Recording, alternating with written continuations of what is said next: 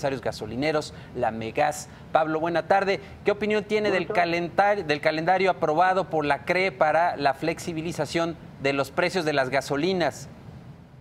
Bueno, los gasolineros del país, que somos 12 mil eh, hasta este momento, sabemos que tenemos el reto de migrar en esta reforma energética y sabemos que empieza el 30 de marzo en estos dos estados de Baja California y de Sonora. Nosotros ya nos estamos preparando para tener opciones de proveedores de Estados Unidos y uno es Statoil de Noruega que nos dice que nos puede traer producto por mar o por tierra ahí en la frontera lo que es eh, Tijuana y Mexicali y Ensenada.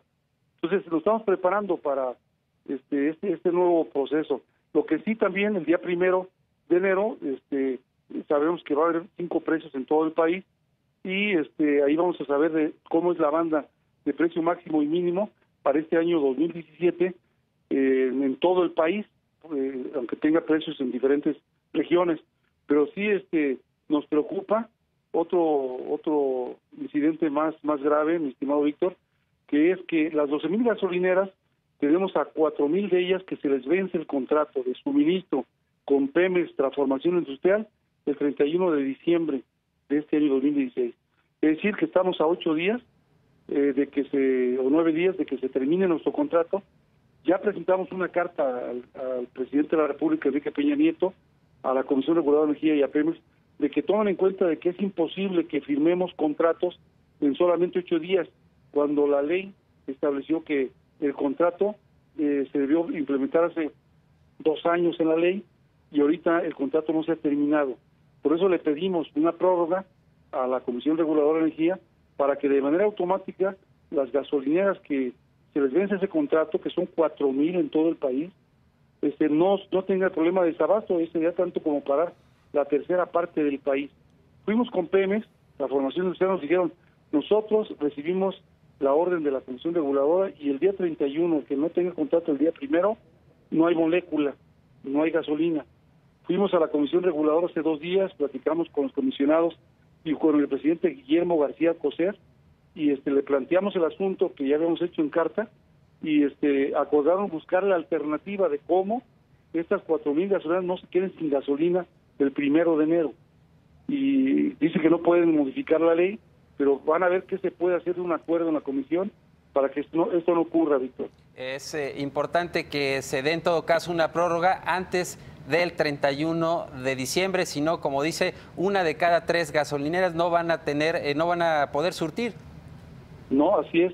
Es importante que la Comisión Reguladora entienda que un, un proceso eh, que la ley marcó para ellos. El 2014, el 11 de agosto, se publicó en el diario oficial y se desfijó la, la, fecha de 31 de, de diciembre de 2016.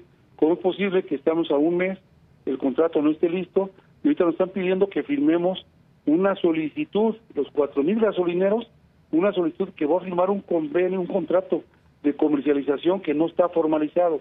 Y no está formalizado porque depende de lo que dictamine la Secretaría de Sindicato Público el próximo mes, digo la próxima semana, con, con la metodología de precios para el país. El contrato debe plasmar la, la contraprestación, la renta de, o la comisión del gasolinero. En este contrato que nos presentaron desapareció el porcentaje que teníamos en el contrato anterior y está en blanco, entonces consideramos que no debemos firmar un, contrato en blanco y debe haber prudencia de la autoridad de que no es un acto de mala fe del gasolinero, sino que la autoridad debe dar tiempo suficiente para garantizar el suministro a los 30 millones de automotores que hay en el país y que mueven a 120 millones de mexicanos.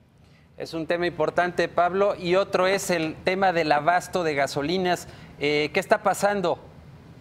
Mira, este, Víctor, con motivo de la revisión que viene haciendo Pemex, que no entendemos por qué lo hicieron ahora, donde se ordenó desde meses de septiembre, octubre, noviembre y ahorita en diciembre, el Sistema Nacional de Refinación está siendo sujeto a revisiones físicas para evitar que haya accidentes o explosiones, etcétera.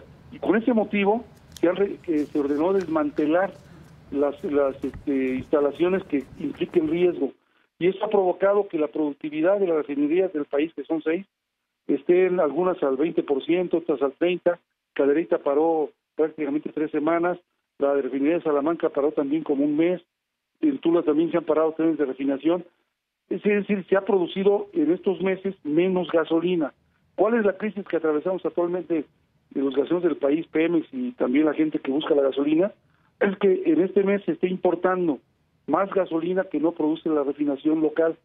Entonces, el trasladar de tanto del Golfo como del Pacífico el producto al centro del país es lo que está retardando. Mira, el producto entra por Rosarito, este, Guaymas, en, Mazatlán, en Manzanillo, Lázaro Cárdenas, Salina Cruz, etcétera, y del Golfo igual. Pero por de ahí va en rueda hasta Jalisco, por ejemplo. Y eso, eso es lo que ha provocado ahorita el desabasto de, de gasolinas, porque Pemex antes se surtía las refinerías por poliducto, era muy rápido, y ahora por rueda desde la costa nos cuesta trabajo. Eh, ¿Dónde tienen eh, más eh, presente este problema, Pablo? ¿Saben? Te pinto porque Amigas tiene contactos en los 32 estados, una pincelada de lo que pasa. En la, en la provincia de Yucatán, las terminales de almacenamiento de Medio y Progreso no tienen suficiente producto y están mandando los gasolineros a Tuxpan o a Pajaritos, en Veracruz, porque sí hay desabasto en la península. En, en Oaxaca están mandando a todos los foráneos a cargar a Salina Cruz, a la terminal de almacenamiento de Puebla o a Veracruz, porque solamente Pemex surte con las pipas blancas la capital, como pasa también en Michoacán. En Uruapan hay escasez de diésel hace tres semanas. Hoy empezó la escasez de premium. En Chihuahua nos reportan que las foráneas son las que no tienen producto.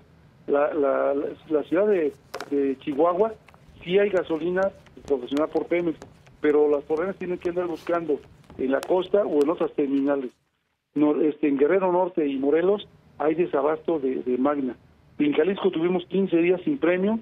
Ahorita, afortunadamente, en Jalisco se corrigió con el llamado que hicimos a, a Premio Logística, Roberto Revilla, el director, apoyó con de Manzanillo traer producto por rueda, combos de 60 mil litros o de 45 mil litros, y afortunadamente ahorita se tiene Magna Premium Diesel para dos días.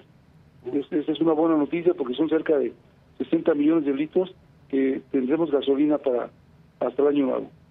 Bien, Pablo, pues eh, estaremos al pendiente de estos eh, dos temas que son muy relevantes en los próximos días. Gracias por lo pronto. Buena tarde. Buena tarde, Víctor. Buenas tardes.